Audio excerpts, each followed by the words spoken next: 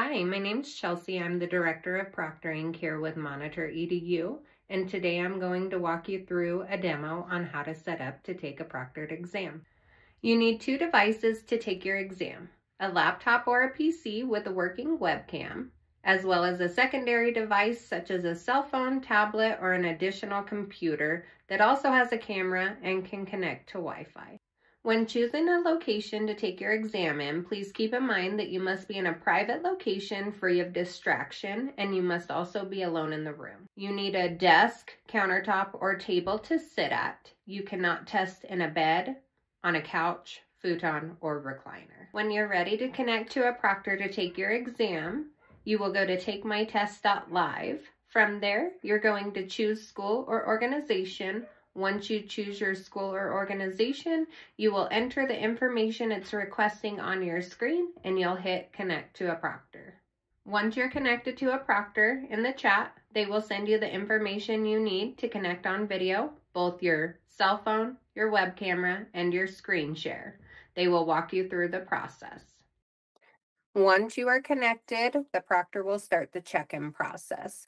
They will check your photo ID as well as doing a room scan. You need to start at one corner of your wall and slowly turn it so that the proctor is able to view your whole workspace, making sure that you show all four corners of your room all the way around.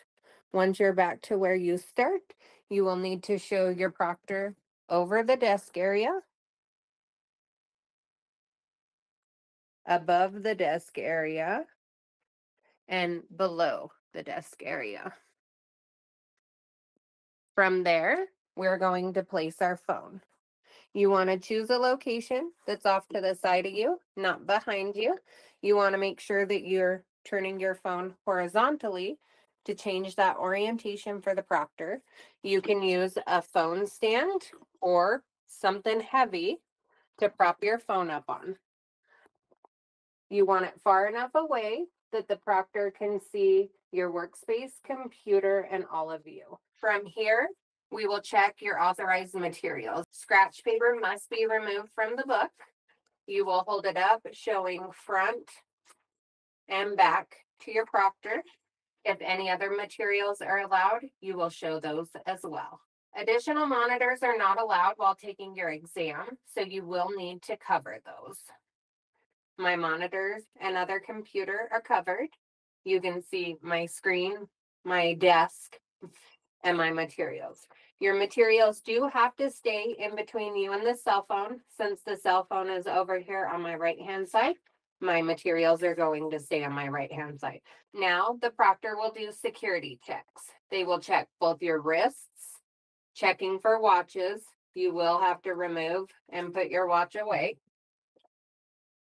They will check both ears, making sure that you don't have any headphones in. And if you wear any glasses, you will have to hold those up to show the proctor. Now you will navigate to your exam portal where your exam is located.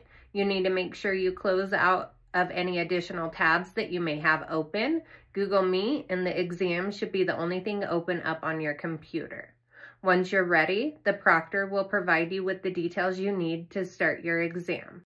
One of the most common challenges candidates face during a proctored exam is finding a reliable way to prop up their phone. To streamline this process, you can purchase a Monitor EDU phone stand by visiting takemytest.live. These stands are available for $14.99 plus shipping and handling. They are durable, adjustable, and allow you to position your phone vertically or horizontally. Additionally, the design accommodates charging your phone while in use, a must have feature since Google Meet can drain your battery quickly. This simple solution can make your proctored exam experience smoother and stress free. For a better understanding of our processes and rules, please visit monitoredu.com forward slash FAQ. We are available 24 hours a day with the exception of Christmas Eve and Christmas Day.